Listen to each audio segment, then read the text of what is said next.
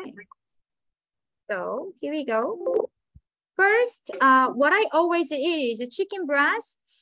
And if I eat chicken breast today, I will be a party pooper, so today will be my cheat day. 음, 일단 너무 기니까 아, 이렇게 일단 chicken breast, today will be my cheat day. 이렇게 잡아볼게요.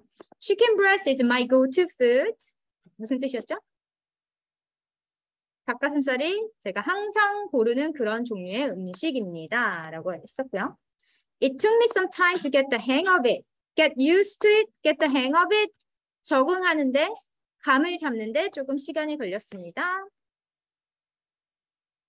오케이, 요거 할게. Take good care of yourself. You know, your health comes first. 건강 유의하세요. 건강이 제일 우선이죠. 라는 표현 쓸까? Three years ago, I wasn't able to attend offline classes due to COVID-19. 코로나 때문에 못 갔었습니다. 그리고 행인 대열 다시 한번 잡아드릴게요. 그리고 오늘은 요거 좀 잡을게요. 내용을 내용 중에 잡을 만한 표현. I will switch to software engineering 하면 이쪽으로 분야를 바꿀 거예요. switch를 잡을고요. Learn cooking to make the full transition to healthy homemade food. 요리를 배워서 모든 음식을 다 건강한 한, 어, 음식을 만들겠다. 그리고 in my view라는 표현까지 잡아볼게요. Expression 어떤 표현이 좀 남으셨을까요? It took me some time to get the hang of it. 약간 감 잡는데 시간이 좀 걸렸어요.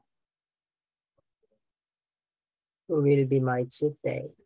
Okay, chicken breast is my go-to food. It will be my cheat day. Anything else? In my view, 제 생각에는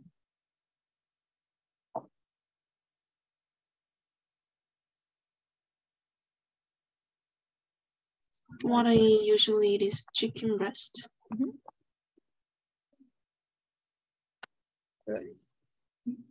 what did you say, Sensei?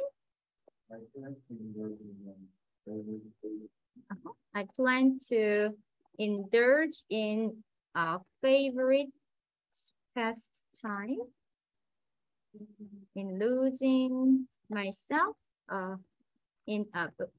Okay. Good job. 오늘 여기까지 하고 정리해